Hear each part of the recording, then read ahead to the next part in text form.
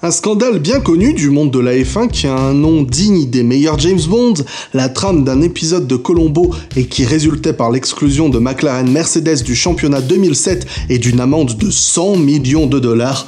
Je parle bien évidemment du Spygate, une affaire qui opposa alors les deux plus grandes équipes de l'histoire sous le couvert de l'espionnage, McLaren et Ferrari. Sortez votre pipe, votre loupe et votre violon, car aujourd'hui on va découvrir ou redécouvrir cette affaire plus complexe qu'il n'y paraît. Outre la médiocrité de la review de la saison 2007 produite par le Blabla F1, un de mes plus gros regrets dans cette vidéo est de ne pas y avoir abordé en profondeur cette affaire. Mais quand vous allez voir la durée de l'émission d'aujourd'hui, vous comprendrez pourquoi j'en ai pas parlé plus. En effet, je vais essayer de proposer un dossier aussi complet que possible sur l'affaire afin de vous permettre de comprendre avec le plus de données possible. Le Spygate, c'est pas juste McLaren qui envoie les Spy Kids voler les dessins de la F 2007 et qui se fait avoir. Non, c'est la combinaison de trois intrigues distinctes qui vont être amenées à converger. Et pour commencer, je ne peux pas vous parler du Spygate sans parler de la rivalité Hamilton-Alonso qui est pour moi un de ces trois facteurs. Ça pourra vous sembler hors de propos dans un premier temps,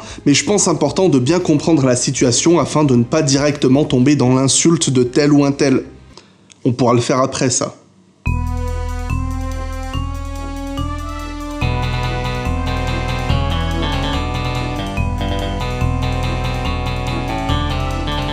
L'histoire se rappelle de l'année 2007 comme celle où un jeune débutant du nom de Lewis Hamilton fit tomber de son piédestal le double champion du monde Fernando Alonso pour le faire revenir en pleurant chez Renault en fin de saison. S'il y a une part de vérité bien que caricaturale dans cette affirmation, j'aime rappeler qu'il y a beaucoup plus et que leur rivalité n'est que la phase visible de l'iceman, de l'iceberg. Après deux titres consécutifs, Alonso fait ses débuts pour McLaren Mercedes aux côtés du petit Lewis en tant que favori pour le titre. Pour Ron Dennis, manager de l'équipe, rien de risqué dans la promotion d'un rookie dans un top team. Il affirme que c'est déjà le meilleur espoir qu'il ait jamais vu, allant déjà le comparer à Ayrton Senna.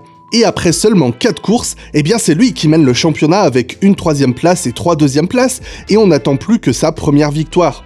Alonso domine à Monaco pour la cinquième épreuve, mais on sent un Hamilton très pressant dans ses échappements. Le stand McLaren est gêné, ils ont raté sa stratégie, et on demande à Alonso d'augmenter le rythme, sous-entendant qu'il ne doit pas ralentir son équipier. Je rappelle que les consignes d'équipe sont interdites à cette époque, mais on n'était pas loin d'un Fernando Lewis is faster than you. Mais l'Espagnol pense plus sage de préserver sa voiture et ne pas trop pousser, et a raison car les flèches d'argent signent un doublé une minute devant Massa 3 et un tour devant tout le reste du plateau. Pourtant, ce doublé ne semble pas ravir Ron Dennis. Pour lui, c'est Hamilton qui aurait dû gagner et Hamilton délivre son opinion avec cynisme. J'ai essayé de l'attaquer pour gagner, mais il faut que j'accepte que c'est ma première saison et qu'il a le numéro 1 sur sa voiture et moi le numéro 2. Je suis le deuxième pilote, donc je dois l'accepter et respecter les choix de l'équipe.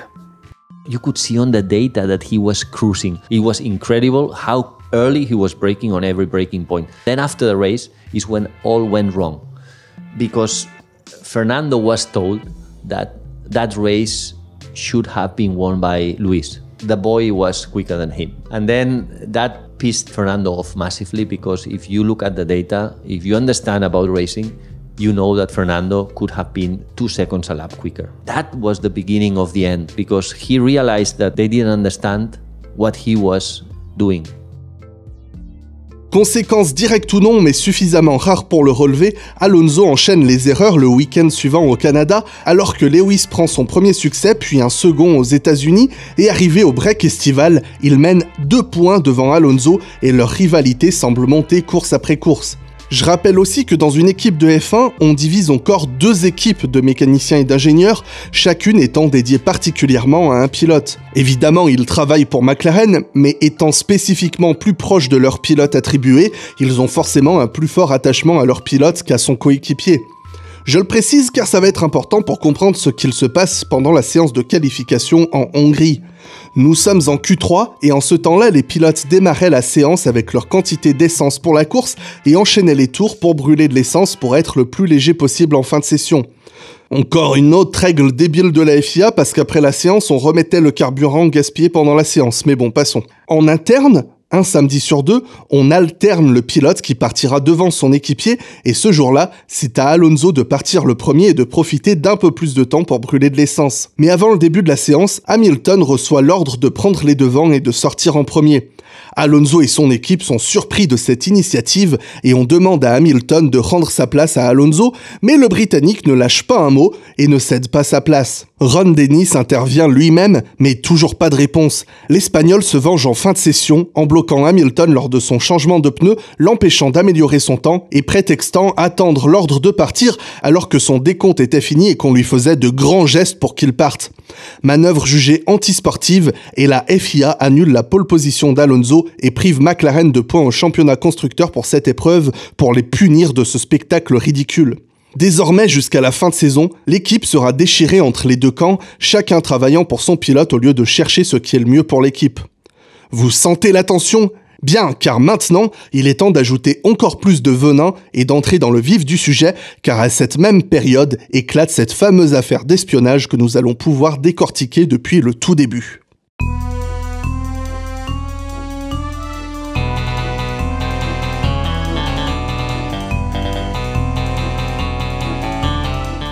Remontons le temps là où l'affaire est née début 2007 en une journée normale à Woking en Angleterre. Le gérant d'un magasin de photocopies s'ennuie de son quotidien lorsque soudain une jeune dame sauvage apparaît pour lui demander de photocopier l'intégralité d'un document de près de 800 pages.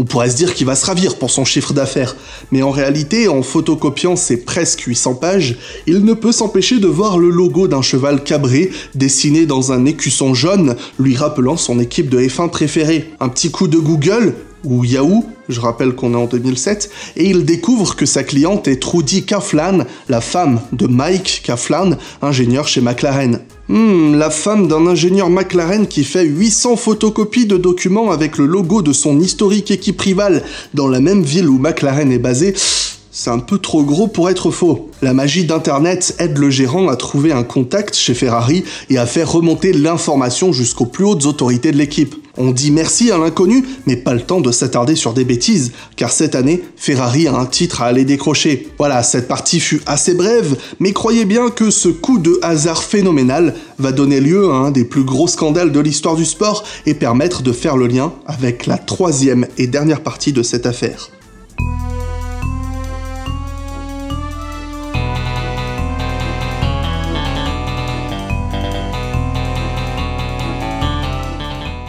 Début 2007, Ferrari va vivre une année de transition stressante car pour la première fois depuis plus de 10 ans, ni Michael Schumacher ni Ross Braun seront là pour mener l'équipe et Jean Todt est en train de confier les commandes à Stefano Domenicali.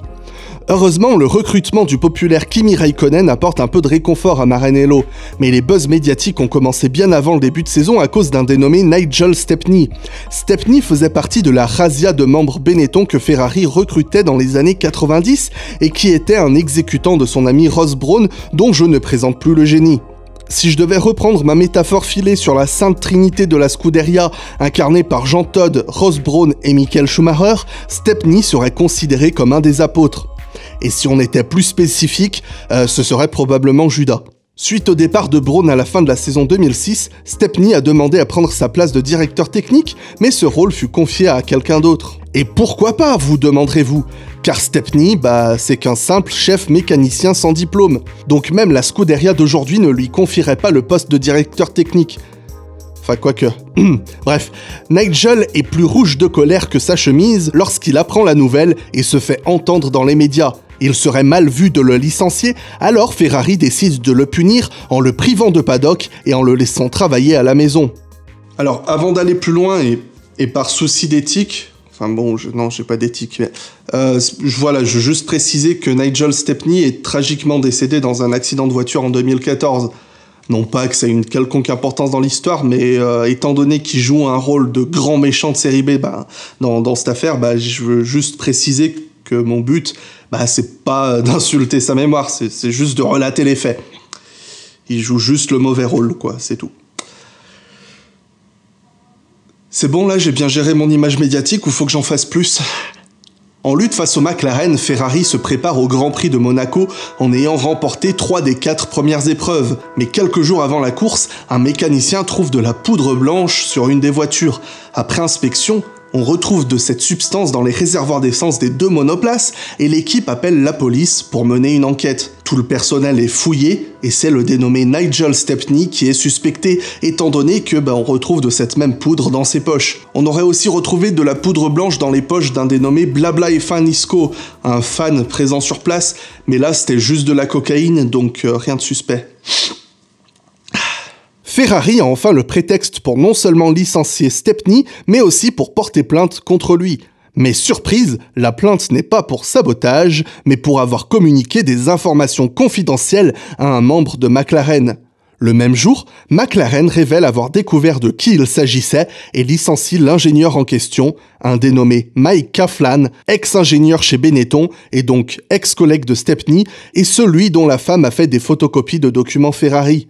Quelques jours après ce buzz, l'écurie Honda semble trempée dans l'affaire, mais Nick Fry, le directeur sportif de l'équipe, révèle que Ekaflan et Stepney lui ont tous deux proposé leur candidature, mais qu'ils n'avaient jamais mentionné l'existence de documents Ferrari, ce qui laisse penser qu'ils cherchaient tous deux à quitter leur équipe et agissaient dans leur propre intérêt et non celui de McLaren ou Honda.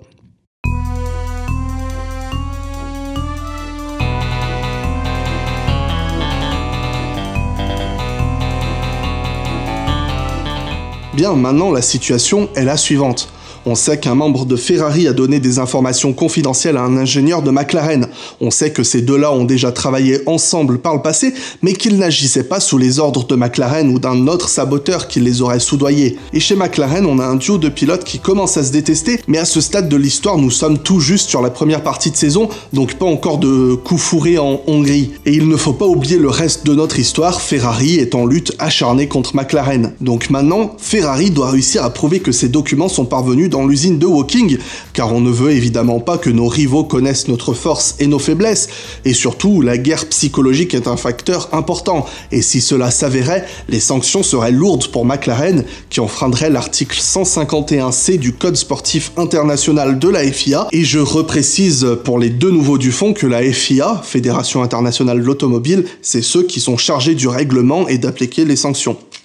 Seront considérés comme infractions au règlement en dehors des cas qui sont prévus, tout procédé frauduleux ou manœuvre déloyale de nature à nuire à la sincérité des compétitions ou aux intérêts du sport automobile. Nous sommes début juillet et McLaren invite Ferrari et la FIA dans leur usine à Woking pour prouver que les documents volés ne se retrouvent dans aucun des dossiers de travail de McLaren et ne présentent aucune similitude. Mais lorsque Ferrari s'engage à ne pas lancer de poursuite sur le couple Kaflan en échange de leur entière coopération dans cette affaire, il révèle que les documents ont bien été répandus dans les murs de l'usine et que les plus grandes instances de l'équipe en ont connaissance. Et je rappelle qu'on parle de presque 800 pages de documents et que cette affaire n'aurait jamais existé si Mike avait eu la présence d'esprit d'acheter une imprimante à son domicile.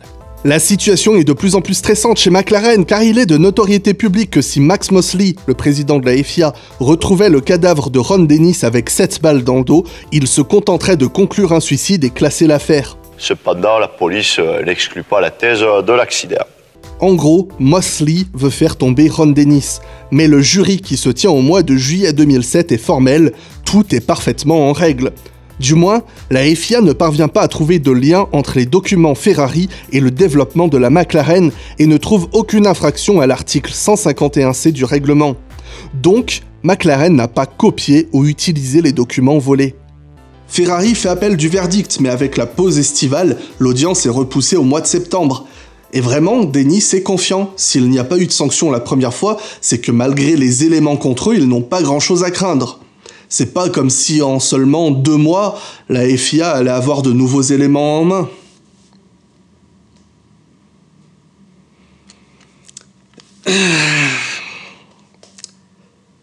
Nous voilà au mois d'août, au lendemain de la séance de qualification en Hongrie qui aura permis aux médias de faire tant de gros titres. Mais la plus grosse pépite sort le dimanche matin donc, lorsqu'on rapporte que Alonso et Denis ont eu une conversation dans laquelle l'Espagnol menaçait son patron de dévoiler à la FIA qu'ils avaient réellement discuté des documents récupérés par Kaflan et donc qu'ils avaient menti à la FIA depuis le tout début. Ces bruits se font évidemment entendre dans tout le paddock et Ron s'empresse de déclarer que ce ne sont que les vains mots d'un homme menteur et manipulateur frustré d'être mis à mal par un débutant. Quelques semaines plus tard, avant le Grand Prix d'Italie, on apprend l'existence de mails ayant circulé entre Pedro de la Rosa, troisième pilote de l'équipe, Mike Kaflan et Fernando Alonso. Ah bah il l'avait prévenu hein la FIA réouvre l'enquête et on recense 280 SMS, 35 appels, en gros un dossier de 14 pages de conversation à ce sujet où on voit à quel point Stepney a tenu le rôle de taupe pour McLaren. Voici un SMS de Pedro de la Rosa destiné à Mike Kaflan en date du 21 mars 2007. Salut Mike, tu connais la répartition du poids de la voiture rouge? C'est important pour nous de la connaître, qu'on puisse l'essayer en simulateur. Par ce message, on accuse donc McLaren d'avoir demandé et obtenu des informations secrètes de Ferrari de la part d'une personne qu'il savait mal intentionnée, mais aussi d'avoir utilisé et partagé directement ou indirectement ces informations dans l'équipe. Pour preuve, cette conversation entre Alonso et De La Rosa du 25 mars 2007. C'est la répartition du poids qui m'étonne. Je sais pas si on peut avoir confiance à 100%, mais ça attire l'attention. Toutes les infos venant de Ferrari sont très fiables. Elles viennent de Nigel Stickney, leur ancien chef mécanicien. Je sais pas quel poste il occupe maintenant. C'est lui-même qui nous avait dit que Kimi s'arrêtait au 18ème tour en Australie. C'est un bon ami de Mike Coughlin, notre designer en chef. On doute que McLaren ait réellement utilisé ces informations pour améliorer leur voiture qui avait été développée bien avant qu'il y ait des fuites. Pour caricaturer, c'est pas en mettant un moteur Mercedes et des ailerons Red Bull à la SF 1000 que Vettel et Leclerc vont gagner le championnat cette année mais il apparaît que ces données ont été exploitées pour tenter d'améliorer leur réglage ou adapter leur stratégie de course et donc de disposer illégalement d'une arme secrète face à leurs rivaux, sans parler du fait que McLaren a non seulement menti à la FIA, enfreint le et Dennis finira par admettre que toute l'équipe savait. Le verdict tombera symboliquement après le Grand Prix de Belgique où Kimi Raikkonen mène un doublé Ferrari devant Alonso. McLaren est puni de 100 millions de dollars, la plus grosse amende de l'histoire du sport. Son inscription au championnat 2008 est suspendue jusqu'à ce que l'équipe prouve à la FIA qu'aucune information récoltée de Ferrari n'est utilisée dans leur future voiture et surtout, ils sont disqualifiés du championnat constructeur. Mais la FIA se montre clémente avec les pilotes ayant chacun décidé de coopérer car ils avaient été tous trois informés que s'ils étaient reconnus coupables, leur super licence aurait été retirée à vie et n'aurait plus jamais pu concourir en F1. Par soutien à l'équipe, Hamilton et De La Rosa se rendent à l'audience, mais on ne s'étonne qu'à moitié de ne pas y voir Alonso. Le comble du comble de cette affaire est que peu avant l'audition du 13 septembre, Ron Dennis accusait fortement Renault d'avoir effectué le même type d'espionnage chez McLaren suite au transfert de leur ingénieur Phil McCareth. Renault admettra immédiatement avoir eu en sa possession des documents des voitures 2006 et 2007, mais prouvera aisément qu'ils n'ont jamais exploité ces documents. Bah, il suffit de voir la poubelle que c'était la Renault en 2007. Hein. L'enquête reste ouverte, mais elle n'aboutira jamais. Mais la question qui reste parfaitement ouverte pour moi, c'est est-ce que c'est si grave que ça? Bah ouais, la faute de Stepney est inacceptable, mais j'ai plus l'impression que devant cet éventail de savoir, McLaren s'est retrouvé comme une poule devant un AK-47. On est très loin de futures polémiques où un constructeur rachète ou refabrique une voiture de la saison précédente à un de ses rivaux. Cette affaire a autant d'interprétations que de protagonistes, et en fonction de là où on va se placer, on peut avoir une perspective différente des événements. Et avoir celle de Pedro de la Rosa, un pilote au cœur de cette affaire et qui a côtoyé des paddocks de F1 pendant presque 20 ans, est toujours très intéressante à mon sens. I still don't understand why we were fined 100 million. We were a racing team that, as with any other competitor, we're trying to find information from them, which everyone does in Formula One. And the, the, information we had about Ferrari was was the typical information you share in a coffee machine, just speaking with engineers. Uh, did we change anything of our development, of our testing program, of our nothing? Nothing changed. Uh, the people have to understand that that information that was passed, I never saw it. No one, it was never in the in the team. Mike's wife uh, did the photocopies because Mike didn't know what to do with the information. Okay, we did something wrong, yes, but was it 100 million worth? Oh my God. Eventually, we lost the championship in the drivers as well. So I think we, we paid a big penalty, a big, big price for something that in many teams I've been in Formula One because I've been in many teams. There's always information flying around from the other teams. It was very badly presented. It was very graphic. that we had information from Ferrari, but it was never used at all, and that's for sure. We never we never gained one hundredth of a second because of it.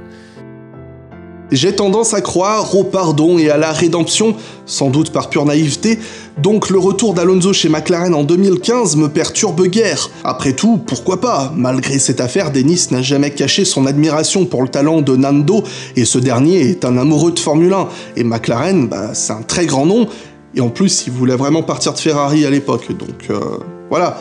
Par contre, j'ai du mal à comprendre comment il est possible qu'après son licenciement de McLaren, Mike Aflan revint en F1 chez Williams en 2011, bah comme si de rien n'était. Et si vous avez suivi l'affaire du Crashgate, vous reconnaîtrez le visage de Pat Simons, son remplaçant en 2014. Et le remplaçant de Simons sera un dénommé Padillo, employé de McLaren à l'époque du Spygate. Des noms qu'il est impossible de laver de ces scandales, et si en parlant de Crashgate, Alonso semble étrangement trop proche de ces deux affaires, je n'irai pas jusqu'à l'accuser d'avoir causé ces tricheries. Non. Par contre, on peut lui reprocher de n'avoir rien fait pour les éviter. Mais l'intensité de la F1 a toujours poussé certaines personnes à dépasser les limites, et la question qu'on peut se poser c'est qu'aurais-je fait à sa place? Peut-on imaginer qui que ce soit en Formule 1 dire euh, non merci, on ne veut pas d'un document de 800 pages sur nos concurrents directs, on saurait pas quoi en faire.